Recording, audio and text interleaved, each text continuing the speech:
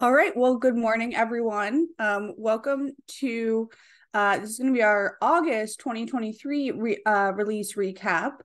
And um, my name is Amanda. I'm going to talk about the USAS information first, and then we'll go over the USPS updates and the inventory as well.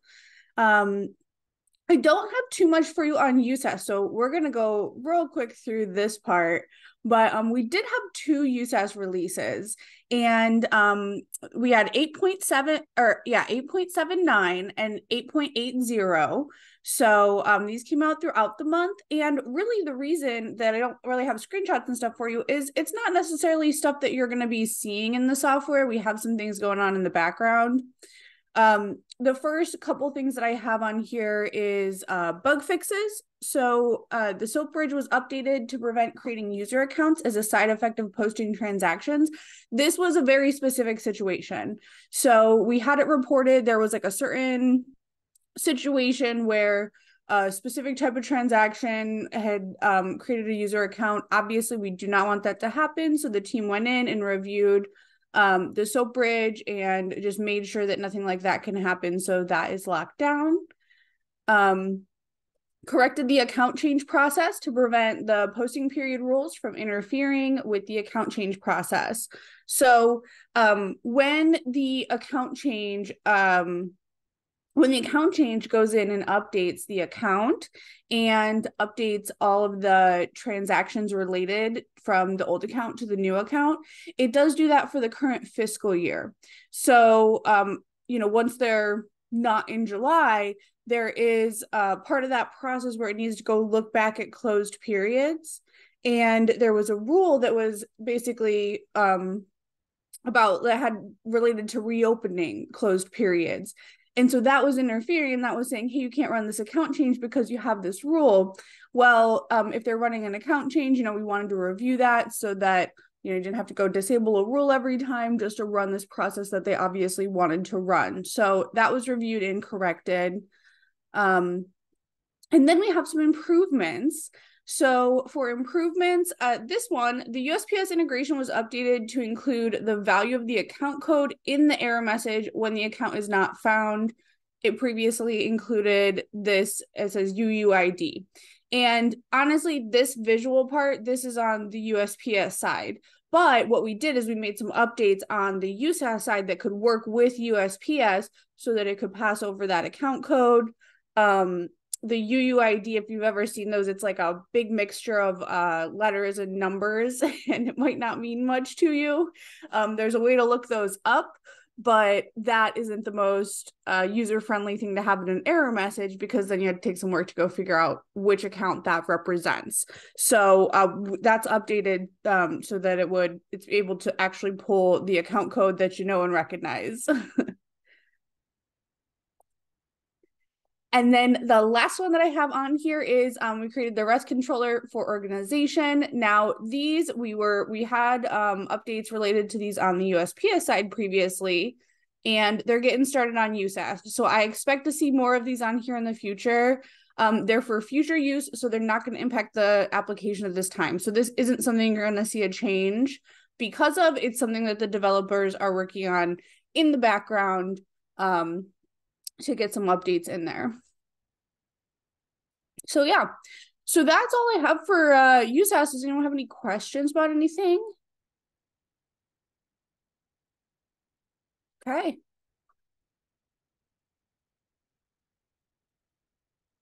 Alrighty. Well, we will get switched over and uh, move to USPS then.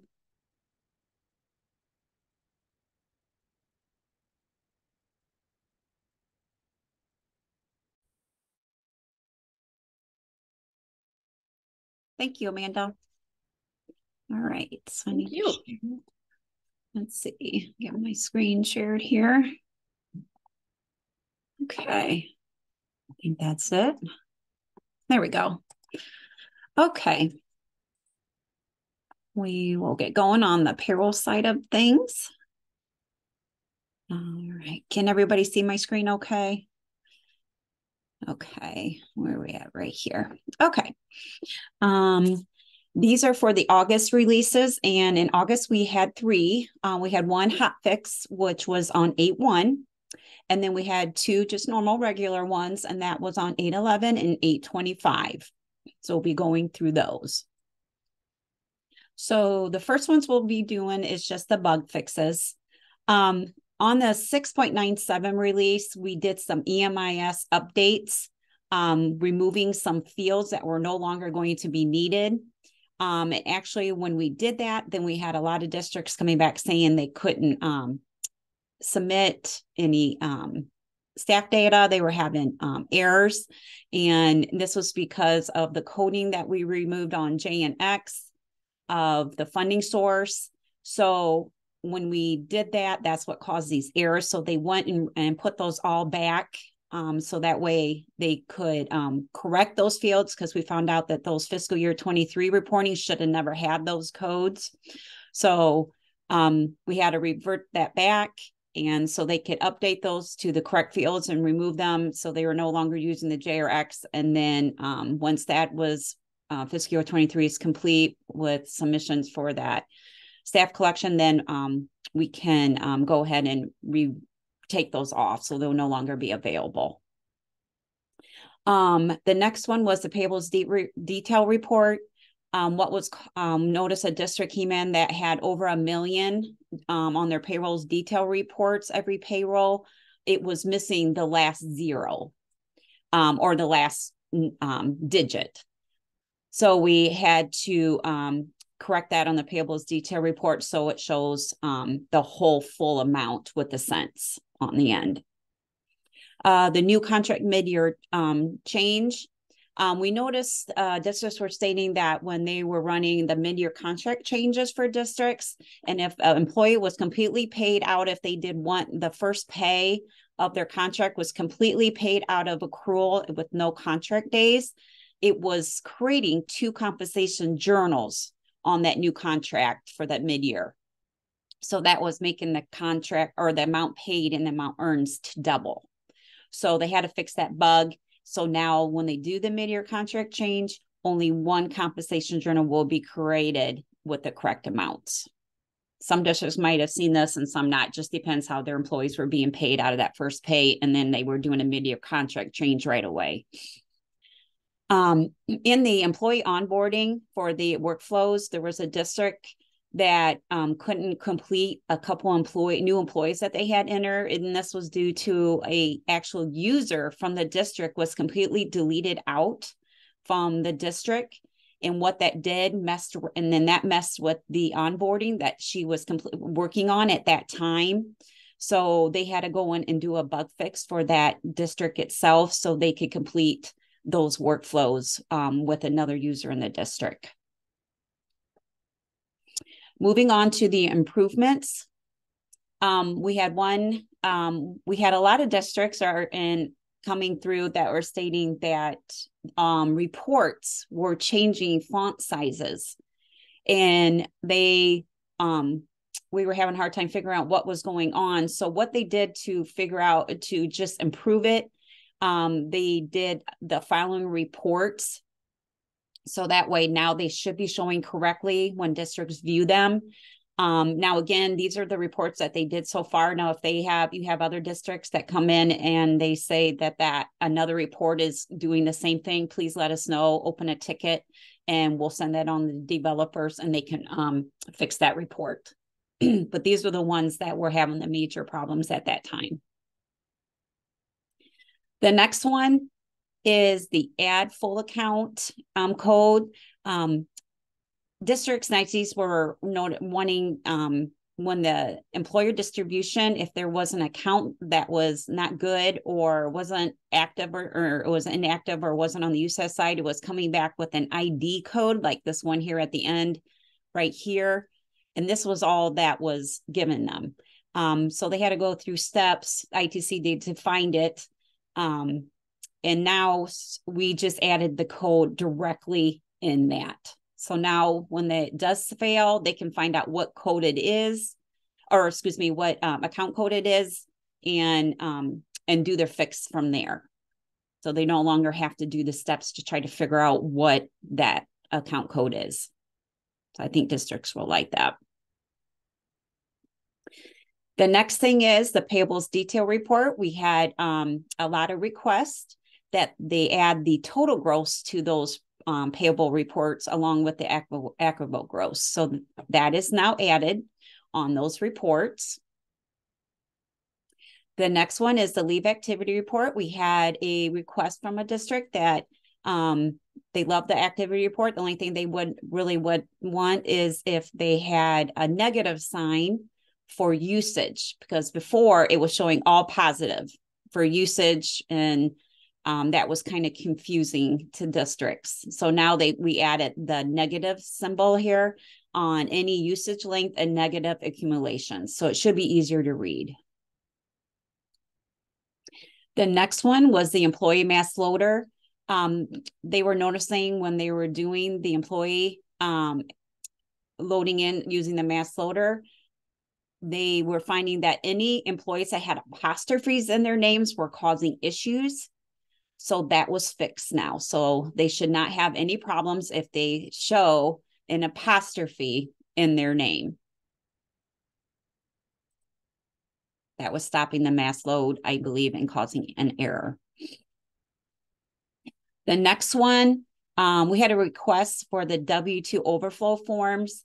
Um, if an employee had multiple cities and they were printed on two forms, um, they didn't want the second form to have any data in the one through six fields in the seven through 12D fields.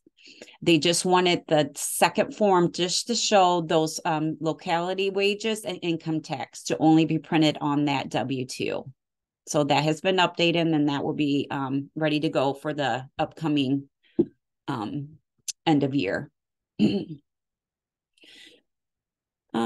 the next one was the behind the scenes um, work that the developers did. And all this did was to, if districts had 50 plus pay groups on a payroll, um, they were just trying to improve how the software was querying those batch jobs um, and link them to payroll.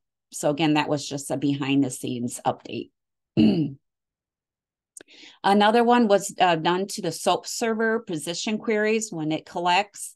Um, districts were wanting for their third parties um, to be able to see which um, positions were archived so they could filter those out a lot easier. So again, that was done behind the scenes. The next one was a W-2 form and report.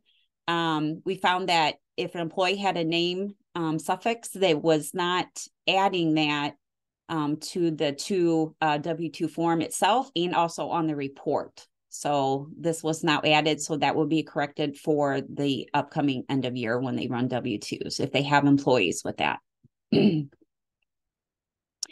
The next one is um, we've a district noticed that when they were looking at the employee race, um, it was not being consistent across the grids. So, like employee, employee personnel, and employee dashboard, they were showing kind of different. So now it matches. All three will match when you go and look at those uh, that field. It will show they exactly the same way. And that was just an improvement that was done. Okay. On to the new features. Um, districts were asking if we could add a memo line to their checks and direct deposits. So that was been that has been added now. So now when they're processing, if they process checks um, during payroll or direct deposits printing, those will show. Or if they go to their um, processing payments um, in the check register, that will also be there that they can add, re-add it if they need to.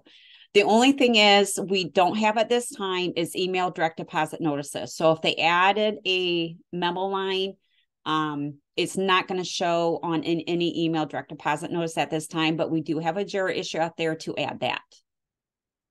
And also another thing, if you have default, if your districts have default custom direct deposit notices, you want to make sure you have you add that um, special memo line to that um, default cus- um, custom direct deposit notice. And we do have that out here in our documentation. I didn't have that up ready to go because I didn't think about it. Um, let's see. Um, where would that be if you need it? Um, no, not in utilities. Let's go down here. Appendix in general, useful procedures of it. Yep. Let's see. I do believe I thought I put it in here. I did not. Okay. I know I have it in there somewhere. Oh, there it is, memo. Adding a memo line to custom fields. So again, just remind if you have districts that want this, but they have, they're using default custom um, direct deposit notices, um, they're going to have to make sure they add this line, this memo line in there. And, if, and again, you have to do exactly, um, follow these steps to, to get it um, added in. They can't just add it on the direct deposit notice and save. They have to make sure they do this merge field so just a reminder with that. Okay. Uh, the next one is W2C records. You want to create a W2 correction for your employees. We have um, started working on this and we got a couple things already in there. We got the records and the report started so far. So that's coming along nicely. And let me go here. Of course, it logged me out. Oh, there we go. Okay, so where you're going to find this is under reports. And down here under W2 corrections, and then you have your W2C records and W2C reports. So the first one, W2C records, um, here's where you actually will create the W2C. So what you can do is create it. You pick the employee that you need to correct the year that you need the correction for, and create the correction record. So this is now what you'll see. So you see this will um, automatically um, input there the year, the employee uh, number, and the name. And then from here, whatever needs to be corrected, you can uh, go ahead and enter that in. So you enter in what if it was you already had original wages, but those were incorrect. So you put what the original was and what the corrected amount is. So every field has a corrected field added now. Um, if they completely forgot to add something, um, they can go ahead and just add that in.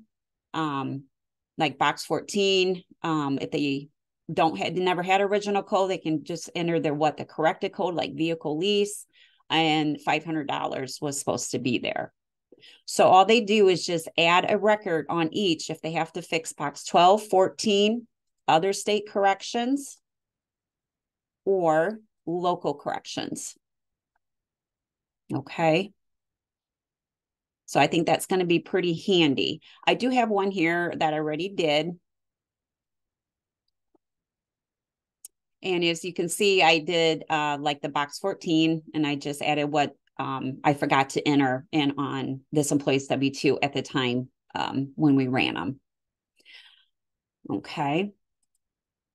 And then the next thing, so if you have multiples or you want to keep records um, for their files or something, you can do a W2C report and you can run it um, just for maybe one employee that's in that grid that we just were in, or if you want to show everybody, you can do that. So you can start if you have 50 employees that you had to do corrections on, you can start an employee on each new page and you can keep that for their files. Um, and again, you want to make sure you select your correct year. And then if you're going to just do individual, if not, leave it blank to select all. So go ahead and select that.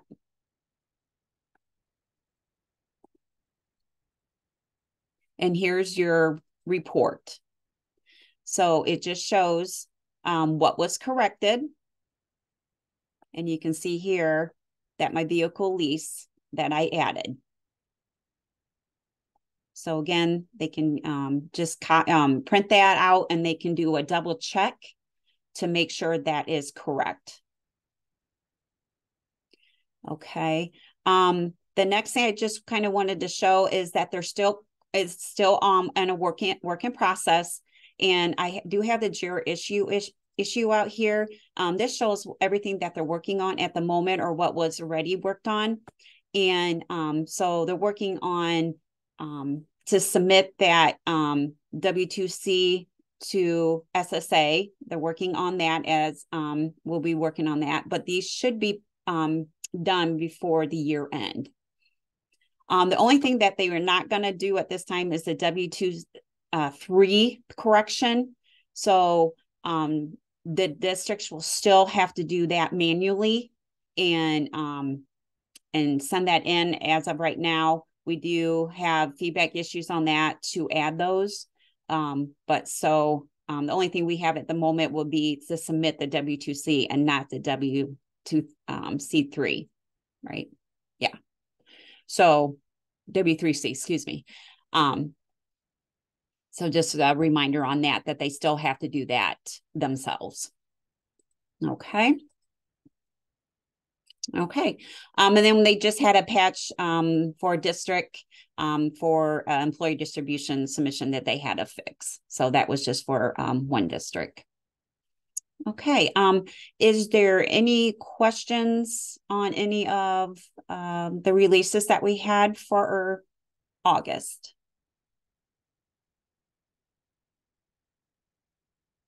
Right. Um, I will send this over to Michelle, I believe. Um, thank you and have a good weekend.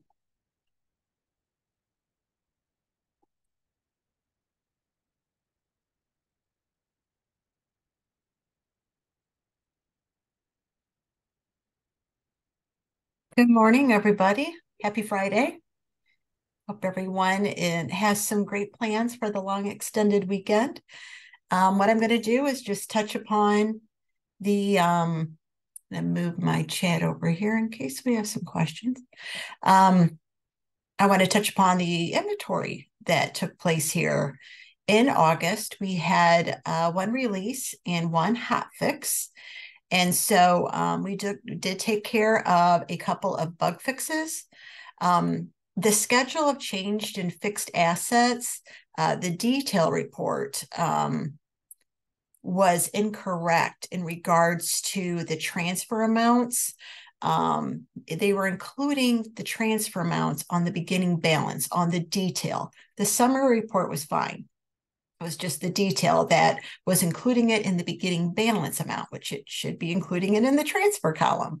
Um, so we fixed that. So now the summary and the detail report balance each other. Um, so the, those beginning balances do not include the transfers that took place in the year. Uh, the next one, the location worksheet, we were doing some corrections on sorting, but uh, we have received reports uh, since then that there's still some sorting uh, issues on that location worksheet. Um, so we have created a new issue. The developers just created it this morning. Um, and it's JIRA issue 5 INV 512 and we're going to look into this further um, to you know take a another look at the sorting on the location worksheet and get that resolved on this new issue um, so um, so if you know you do see some issues with the sorting know that you know with the location worksheet know that we're working on that we're going to get those corrected the schedule of changed and fixed assets and the schedule of change and depreciation reports were corrected to remove payment types. Payment types are not to be included on those GAAP reports. Um, so we, um, I think, you know, that was something that um, was reported a little while ago. So we did get that corrected now that those payment type of acquisitions um, should not be included on the GAAP reports. And also, we corrected a bug, um, and that was on the hot fix on 140.1 um, that impacted districts that migrated prior to the 115 release. Um, what was happening, I think I have a screenshot, it says here it's causing the fiscal year page to display a null pointer exception instead of the proper view. So when trying to navigate to the fiscal year page, it wasn't, uh, it, I think there was like problems with maybe like a report bundle being generated. And it was because, and I think I've got that listed here. So here's what you're seeing is that this year is missing. Um, and so that was causing some issues. So we have fixed that. Um, but I know there was a workaround that you could have gone in, edited that, added the year, um, and then like if it was an issue with the report bundle for that year, it would have generated okay. Um, but yeah, that's been taken care of on this last hot fix so that um, that information is populated. So um, that has been resolved. Um, we have had a couple improvements too.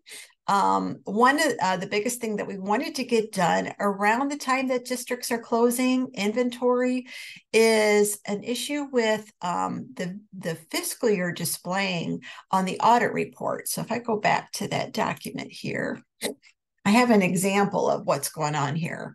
Um, so before, when a year was um, like modified or open and closed, um, it wasn't indicating what the year was.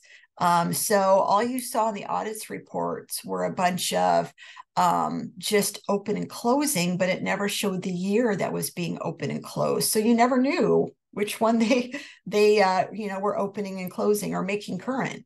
Um, so we've updated the audits report to indicate that. So um, just to kind of review what you're seeing here, um, like adding a fiscal year, obviously it's going to show the fiscal year here, 2024. And obviously it's going to show that because you're adding a new year, it went from null, empty to 2024. Um, here's an example of, I think this was more of the issue, was um, modifying. Um, so here um, they modified the year. So here it's where it's finally showing that year and it's showing that it was opened, um, that it, I'm sorry, that it was closed. It went from open, which is true, to now closed. So it's telling me 2023 uh, was closed. And here's another example of they um, made 2024 current. So it went from false to true. So which year? 2024. So um, so a really good improvement on that. Um, and especially around uh, fiscal year end time when they're opening, closing um, years and stuff, it's just nice to see that a little more uh, spelled out here on the audits report.